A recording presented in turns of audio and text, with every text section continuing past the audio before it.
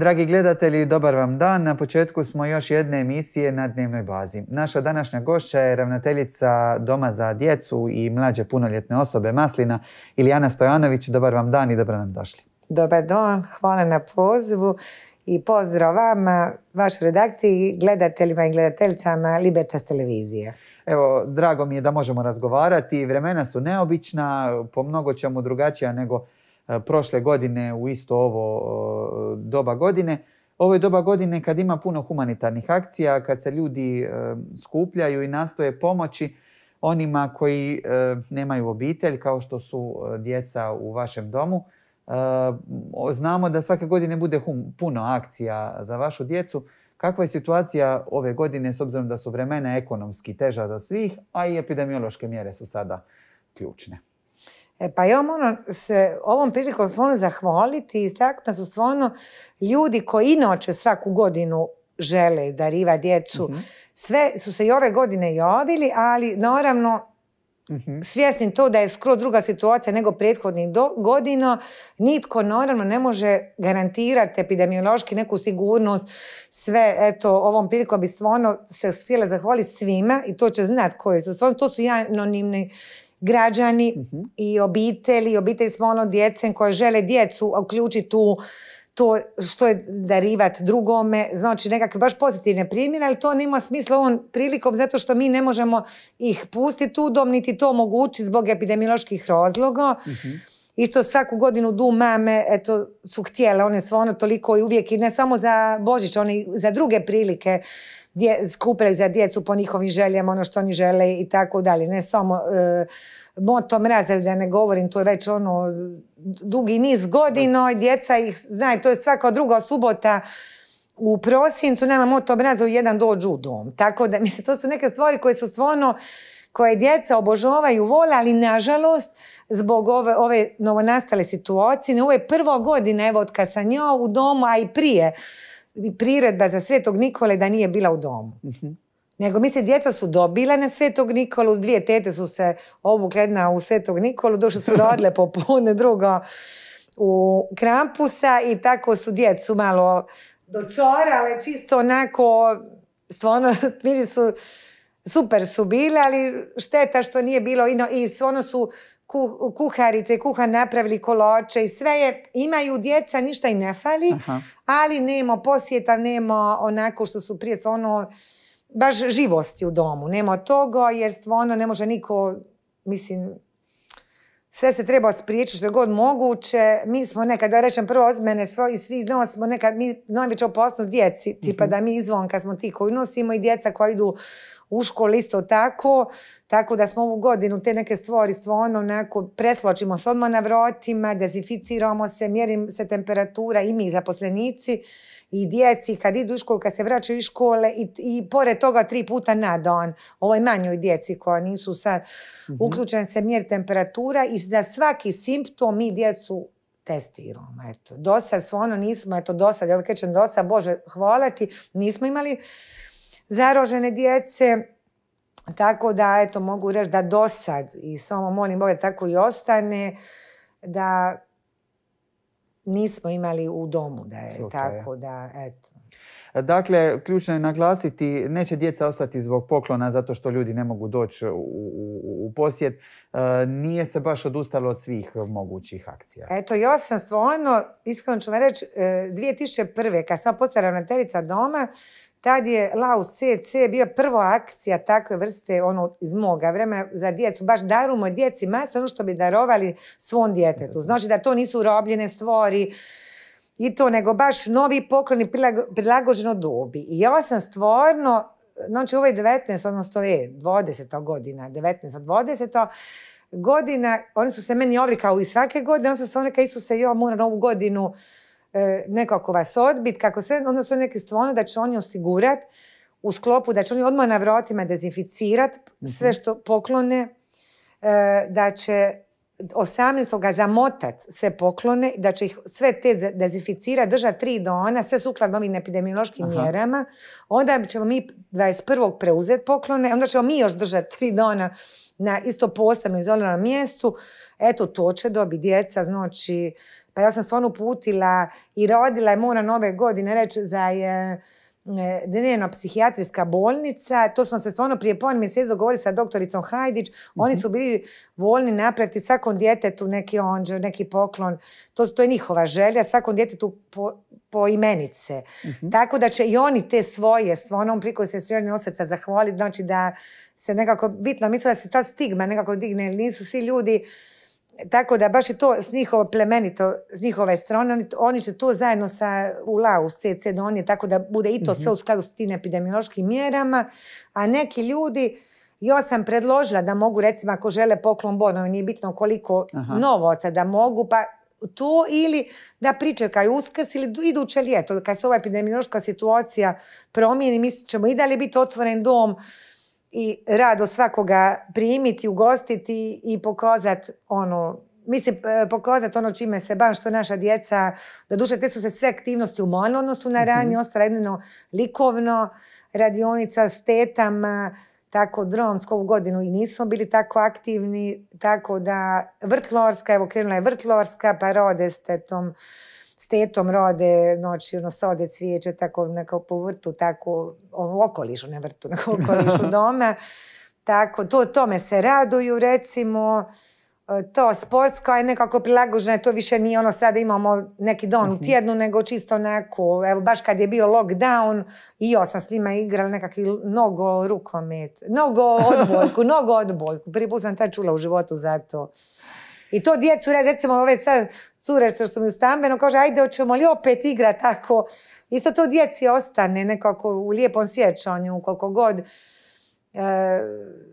ne može biti ko prije, ali da znači neće im faliti ništa što se tiče toga. Evo i danas smo dobili, eto prvi put od ministarstva našega mhm. krosne poklone, ali oni će, znači oni su poprskani, oni stoje uskladišteni, a mi nemamo stvarno toliko prostora da bi mi mogli uskladiti sve ono što bi ljudi htjeli da. Meni je žao što sam nja odbila stvarno i naravno će slopu da i jabuka i sve, mi to stvarno imamo fizički. Mi smo mala ustanova sa malo, malim, mislim, kapacitetom i sa malo prostora, a da bi, mislim da je ipak važnije da, jer mi ovu redovnu hranu, sve to imamo totalni princip kako se to e, znaju kuhari, kuharice znaju sve to kako znači hranu trebaju postupati prije što unesu u kuhinju. Se po hasapu i po novim, novim epidemiološkim mjerama.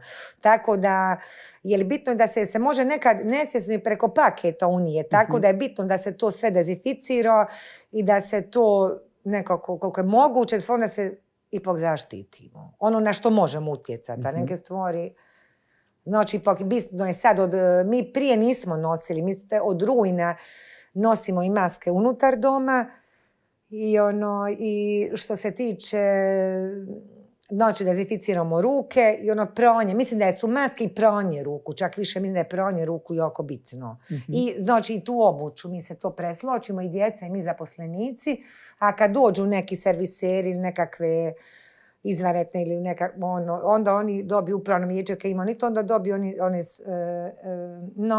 za plastične, tako i njima se isto mjeri temperatura, svi se zabilježe i kad dođe ono, bilo ko vanjski, tako kad dođe u tim nekim nužnim ono, situacijama, tako da. Vi inače u domu za djecu imate dosta, koliko mogu primijetiti, razgranatu mrežu e, ljudi, organizacija, udruga koje stalno pomažu iz godine u godinu i to ne samo za Božić, nego u različitim periodima godine. Jesi, Caritas, recimo, nama Caritas, stvarno, Dubraške biskupije, recimo za djecu kad žele upisati autoškolu, eto ja stvarno zovem i ovim se prikosita zahvaljujem Sanju i mi se dogovorimo odmah samo ono tako da i druge stvari, ne samo za autoškolu i nekakve i druge stvari, tako da e, e zaklada bloga dijela već niz godina, onda ona gospođa Olga Štos, viš, e, obitelj shop iz Njemačke, mm-hmm. to stvarno još od to je još prije bivši pročelnik gospodin Miko Katić predložio, bio 2007. i to je stvarno dugi niz godina zahvaljujući obitelji Šop iz Hamburga i posredstvom gospođe Olge Štos se mnogo toga napilo u domu, stvarno koji je znači od igrališta, e, vanjski ogroda, kuhinje, kuhinskog prostora, kupaonica, e, krov, fasada, solarno grijanje za vodu. Tako da je to stvarno, to su jako velike, to je bila baš namjenska donacija, točno se mhm. svaki euro znao što je potrošen. Tu nije bilo nikakvih, mhm. tako bi rekla, to. Onda smo imali sad ove godine, početka ove godine, anonimnu donaciju, veliku, mhm. baš za potrebe djece. I on priko znao kome se rodi, ali nažalost zbog epidemioloških e, razloga još nije došao u ustanovu da vidi to. Aha. Eto, ovom priko se želim zahvaliti anonimnim, stvarno velikoj donaciji od ove godine, kolarinkama koje stvarno, to one su uvijek, kako kaže Jelica, prve smo kad se otvorite, one su trebale treći trećeg doći. Onda sam ih zapisala na 17. treća, a 17. trećeg je bio lockdown. Onda sam napisala, onda smo, nismo nekako htjeli, ipak ni u tom vanjskom, ili dokazi kad se ono blizu, i mhm. kad si na vanjskom, ako je na manjem, da se može, ako je neko zaražen, da ne zna, može se zaraz drugu osobu, tako da ipak i to smo ostavili za neka bolja vremena. Mhm. Zatim, ono, naš biskup, evo, Mata Uzin će svaku godinu dole na don nevine dječica, nekad i drugim prika i pastoroni posjete. Tako, bili smo prije tri i po godine s njime u Rimu. Su bila sva djeca iz doma. Tako ti sedam dana, ne znam, misli to djeca don danas spominjaš, ostala tu par djece iz tog doba. Mhm. Tako da je to baš bilo jedno veliko i nezaboravno. I njima iskustvo i stvarno je jedan plemeniti, dobar čovjek, tako da šteta što, što mislim, dobro napred, ovo je, želim mu svu sreću, eto, u ime sve djece, zaposlenika, moje osobno ime, tako, nadam se da će nam doći neko isto doba. Ko će ne slijediti. epidemiološke mjere povremeno su i, izazov e, za sve. E, vi ste dosta dobro evo do sada prošli, dakle niste imali zarazu unutar samoga doma. Ne. Mi smo imali u početku rujna i krajem rujna dvije zaposlenice što su bile zarožene. Znači, ali mhm. one su odmah reagirale, znači one nisu došle na posao, one su odmah mene zvale. Rekla da, I to je bio stvarno simptom samo curenja nosa. Nije bilo ni temperature, nikakvi drugi. I on se stvarno ovom prilikom zahvalio od srca, jer na, tim svojim e, pre, neodgovornim, nego preodgovornim ponašanjem su doprinili da nama nije COVID ušao u dom. Eto, mhm. stvarno ovom prilikom, to sam stvarno sto puta rekla i na kolegijima, na stručnom vijeću i sve, evo sad javno govorim, i eto, i ja sam se prošli ponedjeljak testirala, ja sam osjećala umor, mm ujutro nisam uopće imala snoge se dići, ja sam pošla se testirati na ovaj PCR test, da ipak odagne to, jer je baš smo dobili to prezadnju putu da bilo koji simptom, mi ustanovama socijalne skrbi, mhm. bilo koji simptom, o simptoma, ne mora, ili glavobolja, ili mučlina, ili e, umor, e, grlobolja, sve da smo se dužni testirati, da se vidi da otklonimo baš zbog toga. To, su, to, to je ta prevencija u biti. Možda da rodi nešto drugo, možda bi mislim, mislim umorna susreću dan godišnje ostala doma. Mhm. A ovako sam odmah pošla, nisam htjela imati ta dvostruka mjerila da nalažem jedno drugo, da ja rodim drugo. Tako da stvarno vjerujem da će i u buduće ljudi stvarno tako odgovorno se ponašati, da je to jedan od stvarno da je to trenutaka. tako da i onda se sad zezam da su mi stvarno najsigurniji ono i uopće ljudi koji su prebolili općenito, ono, i tako da Eto, mislim da, su to, da je to sve i za djecu. Mislim, svako dan imamo testiranje djece. Ono, za bilo kako su sve nahlade, sve to, baš djecu, bez obzira na dob što govore djeca do deset, ali mogu imati. Imamo sad e, primjera e, da imaju manje od djeca, pa čak i bebe. Mhm. Tako da, ono, da stvarno mi testiramo sve. Meni to jako, e, meni je bilo lakše moj test čeka nego kad čekam za djecu, da me iskreno budem to mi bude stresno, onda tako, nego u privatnom imam svoju drogu prijateljcu s komšijetom, pa nekako na taj način to, taj stres razbijem, da dok dočekam rezultate. Eto, to je nekako ono, više jedva ćemo kad ćemo se vratiti u nekako, ako ćemo se u nekakvu normalu. E, pa znamo, evo, kroz razgovore s vama u više navrata koliko je život u domu ispunjen i, i, i koliko je sadržajan. Već ste nam dijelom to rekli, ali koliko su ove mjere i cijela ova situacija s koronom promijenili taj svakodnevni život za djecu i mlade u domu? E, pa promijenila se recimo za ovo što su djeca uključena, znači mi imamo u sklopu ovih redovnih, mi imamo i poludnevni boravak i za mhm. školsku djecu. I znači sad e, zbog od 15.3. ne mogu primati više na poludnevni E, boravak školsku djecu, zato što mi je to isto epidemiološki, ja ne mogu osigurati ono što bi poludnevni, znači ja bi trebala imati posebno sve, posebnu osobu koja rodi s njima, posebnu kuhinju, posebno, taj neko ko rodi s njima ne bi smio da ima dosta s nikim drugim iz doma.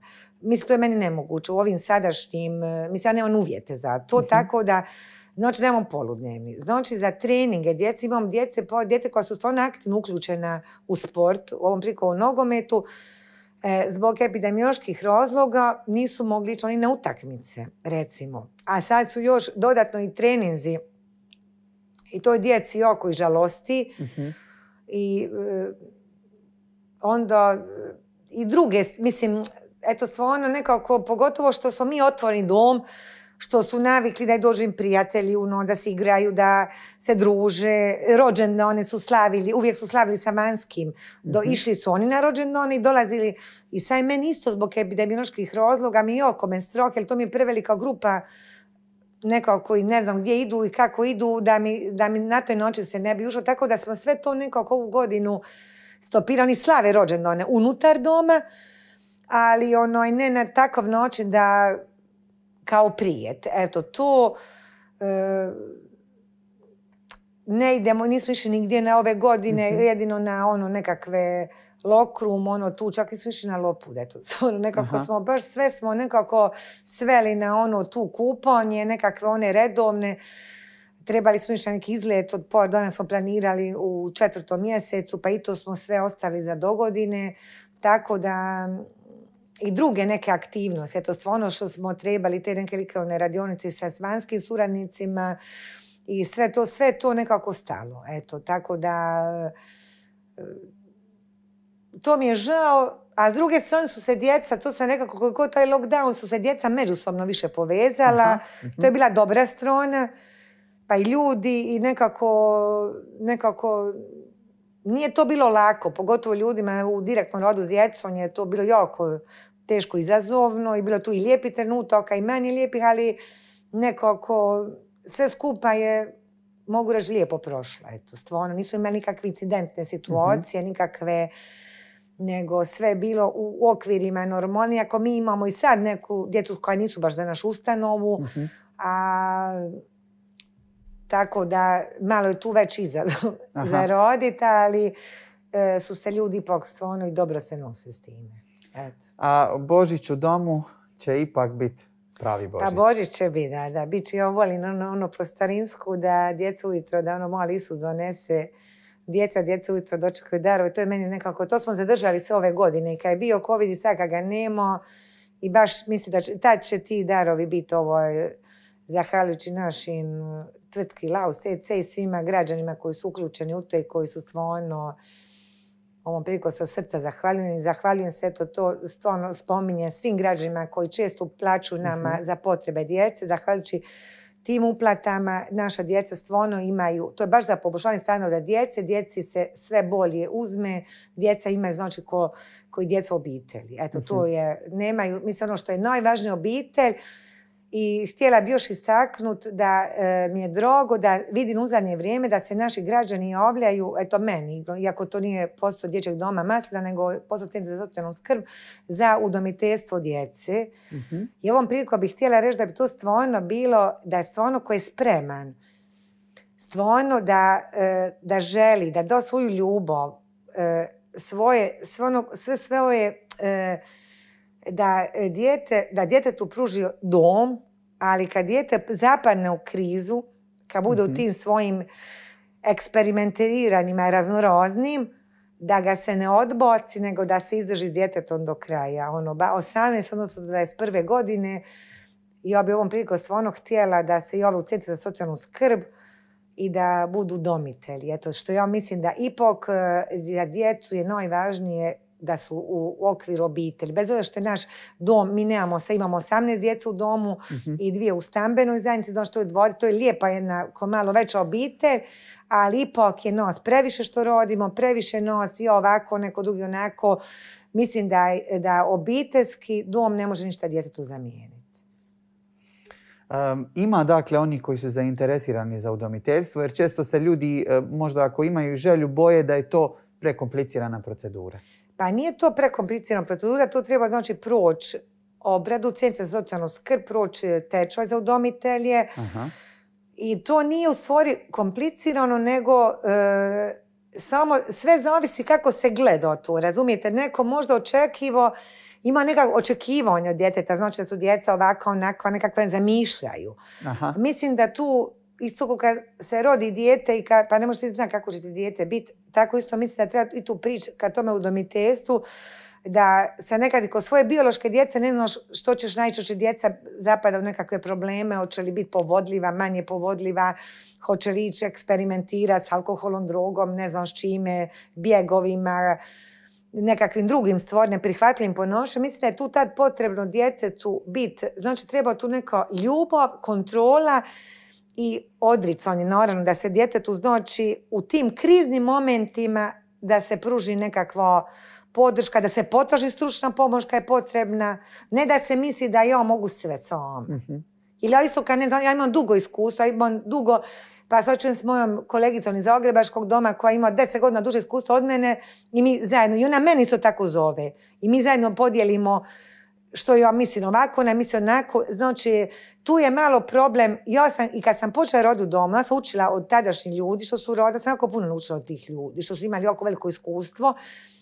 I znači, i ja tako želim sad mladim ljudima pružiti svoje, jer ipak iskustvo nešto što, što je neprocjenjivo u rodu. Nije dovoljno nekad neka želja, volja i ljubav. Znači ti Mhm. trebaš nekad i poslušati, slušati. Nekad, e, današnje, nekako je drugo vrijeme, danas se misli, ako ja nešto reći, da ko da solim pamet. U biti ne solim pamet, nego želim, zašto bi neko išao glavom nozi ako postoji neko koji zna, koji, ako ne znam, ja da ne znam. I pitat nekoga što bi- mislim da bi trebao znati. Tako da je malo... e, ja sam volila slušat, uvijek slušat, ono nekako slušat, pa ću odabrat što mislim da je dobro, ok, ali sam vidjela da su nekako ti ljudi što su imaju iskustvo u pravu. Mhm. Danas je isključivo neko drugo vrijeme, pa je sve drugčije, sve i vrijednosti su drugčije, sve drugčije, ali mislim da je potrebno naučiti se slušat i nekako i ne shvatiti nešto odmah kao neki napad na tebe, Mhm. nekakve da ja nekad možda se moji misle da ih ja dovoljno ne cijenim, što sam zahtjevna i kritična i prezahtjevna, e, tako da, ali to je sve zbog interesa djece, ne zbog njih, niti zbog mene. To meni ništa ne znači, ja nemam neki veliki ego da to meni nešto znači kao meni. Meni su bitna djeca i bitne su mi isto tako, meni često zovu ljudi za druge neke stvari vezano za ne samo djecu i za drugu problematiku socijalnog roda ili ja sam po suci socijalna rodnica, tako da nekako ja volim svoju struku i mislim da je to bitno biti nekako diskretan, ima poslovnu, taj poslovni pristup, ne tračat, ne, nego čisto mora se biti u svom poslu profesionalac. Znači, znat, ako dijete se nešto povjeri, ako nešto kazneno djelo reći, aha, ja to moram prijaviti, ti to doživjela, to se ne smije događati djetetu, bilo kome, a ne sad to, mislim, nekakva, znači i pomoć djetetu, tako, isto i odrasloj osobi, kad i ljudi imaju nekakve svoje probleme, mislim da je tu bitno čovjeka saslušat i nekako imat ono, i usmjeriti ga što treba i kako treba. I ne možeš ti ničiji problem riješiti, taj svak čovjek svoj problem rješava, tako da mislim da je bitno to nekako da se vrati taj neki međuljudski, da se ljudi više maknu sa mobitela i sa laptopa i sa tim ih sa ti sapunica, nego jednostavno se malo više okrenu čovjeku. I obitelj i obitelj. Meni je žao to što se obitelj izgubila. Mislim, baš sam neki dan čitala od jednog novinara kako prije ti e, starački dom, domovi za starije osobe, kako niko ono nije, mislim, niko nišao od starih ljudi, u te jedno onih koji nisu imali ni, niđe nikoga. A danas, i da, danas je u biti su liste čekane za Mhm. domove za starije osobe i sve, jer se u stvari izgubila obitelj. A mislim da, da nekad, e, ja sam dosta vremena provodila s mojom babom i džedom i š- mislim, bilo mi je to divno i stvarno želim da bi ovoj djeci danas da imaju svoju babu i džeda i da ne, da su po domovima. Tako da mislim da, da je dom, svaki dom je nužno zlo, bilo koji, za djecu, za stoce, za bilo koji je, uz sve naše trudove, sve što mi davamo i ljubav i sve, ipak je obitelj, Obitelj. nezamjenjiva. Postoji li lista čekanja za vaš dom? Pa u nekim, e, sad su jako navale zadnjih dvije Aha. godine, zato što mi sad, eto, e, u zadnje od 0 do 3 ne možemo djecu primati, jer jednostavno nemamo uvjeta za to, jer ono, tako da primamo djecu 3 i poviše. Evo sad recimo ja u toj djeci gdje bi trebalo biti pet djece, meni su popunjen kapacitet, od toga su dvoje preško, preškolaci ovo 4 po 5 godina, a troje djece školske dobi mi spavaju tu znači malo e, prekapacitirani smo za neku, za školsku djecu. I to stvarno postoji, ali ja moram, kad je hitan smještaj, ja moram primiti taman da mi na jogiju leži, moram primiti hitan smještaj djece preko tri godine. Mhm. Ali mi sad baš, evo recimo imamo sad djecu koja nisu s našeg područja, jer niko ih u, u Zagrebu je e, prevelik isto broj, znači i Rijeka je prekapacitirana i Split, svi smo nekako, i neki su se transformirali u centre za pružanje usluga u zajednici. Mislim da je to transformacija, po mom mišljenju, za neke, mislim, ne mogu, e, sad mi dobivamo zahtjeve za djecu s Rijeke, iz Slavonskog broda, iz Koprivnice, mislim, ne može se sad dogoditi da se on transformiran u centar za pružanje usluga u zajednici, da se djeca iz Dubrovnika idu u Slavonski brod. Brod. Mislim, to je nekako, ja sve govorila, trebamo ići polako. Ja nisam htjela, ja sam mogla ta djecu sa drugog područja svu poslat u Split, recimo. Ja nisam htjela to, jer to je meni bio zločin. Ja sam išla nekako korak po korak. Mislim da je, da je bolje za djecu da, znači ako su već u toj sredini, jer ništa gore nema nego onda da mijenjaju, da iseljaju. Tamo onda djeca pođu, mislim, i pristane nekako udomiteljstva. Ja ne želim da ima djece koja se ne žele uopće ni posvojenju udomiti. Ja imam jednu curu što je s pet godina, mi smo pripremili još tadašnja psihologinja, i ona je tad govorila da se ne želi posvojiti. Mislim, mogla se posvojiti, imala je par nije htjela. Znači, nije sve tako kako se predstavlja ko pune liste, ima ljudi koji, su, koji čisto biraju djecu, koji ne žele ovu, onaku, to, onaku, to, to, nešto žele, ne znam, mislim, Da, da, da. tako da ima puno toga. Onda ima djece s nekakvim teškoćama. Nekome, mislim da to treba, ako si ti široka srca, pa uzmi dijete sa teško, mislim, s nekakvim, e, tako da, a ima ljudi koji stvarno ne gledaju, zaista ne gledaju, imaju svoju biološku djecu i udomili bi dijete od 8, 10, 12, 14 godina i ne gledaju te takve sada bira. Isto tako i mislim da bi trebao biti veći fokus. Nije prednost da ima nekad neko ko nema svoju, jer možda neko bi, možda bio bolji posvojitelj što ima svoje biološko. A nekad se misli da je tu teško i nama kao struci procijeniti koliko je neko u biti uopće spreman. Razumijete, imaju ljudi koji žele, posle žele, žele, a u biti uopće nisu spremni za posvojiti. Mhm. I onda bude nekad i djeca se vraćaju ili u dom ili u udomiteljstvo ili negdje. Razumijete, ima i takvih misli slučajeva. Ili iz udomiteljstva se opet vraćaju u dom. Recimo udomljena djeca pa se opet vraćaju do što u biti nikad nije dobro baš završilo. Tako da, jer se ljudi ne mogu nositi s tim svim izazovima koje određeno dijete pru, eto, pruža tako da samo što treba o tome sve otvoreno govoriti i ljude pripremiti i podržati ih u tome. Znači, a ne sad, evo, dijete i pa snalazite se, kako bi rekla. I mi bi tu kao dom mogli biti podrška udomiteljima. Mhm. Ima tu neku vezu i poveznicu i kad im je teško dati podršku i njima. Mislim, bez što su mladi ljudi, imaju iskustvo koliko, god, koliko imaju da bi mogli se i, i savjetovati udomiteljske obitelji i radi s njima. E, Koja je razlika, evo barem kratko za kraj, između udom- udomljavanja i posvajanja? Posvajanje je to isto kao da si rodio dijete. Znači sva djeca Mhm. imaju pravo isto kao biološko dijete, a udomiteljstvo je skrb isto djeci koja pruža obitelj, a to isto ko, ko da je dom, samo što nije dom, nego bi se znači nakon 18, odnosno 21. godine, djeca idu u samostalan svijet. Tako, iako stvarno imaju krasni primjer udomitelja, Mhm. stvarno i gore sa sjevera Hrvatske stvarno i znam za ljude koji su i posvojili djecu baš iz idomiteljskih obitelji, da su baš prekrasni iskustva e, gdje su djeca imala u tim obiteljima. Tako da nije sve, možda postoje negdje gdje nije tako, mhm. ali ipak tu treba biti veća kontrola i veća suronja i veća podrška.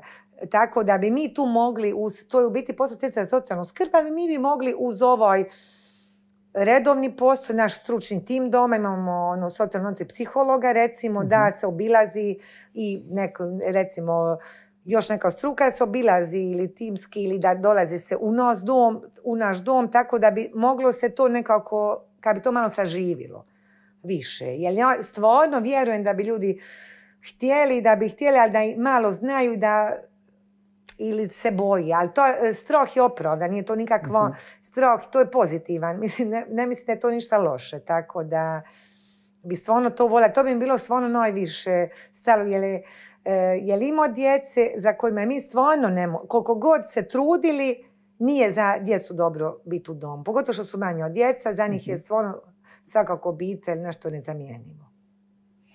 E, mi vam od srca želimo da prije svega očuvate zdravlje, e, da vam blagdan i Božić prođu najljepše što može i da sljedeći put kad budemo razgovarali možemo govoriti o svim punim aktivnostima kojih ima puna, puno jer će to značiti e, da je situacija u cijelom društvu dobra.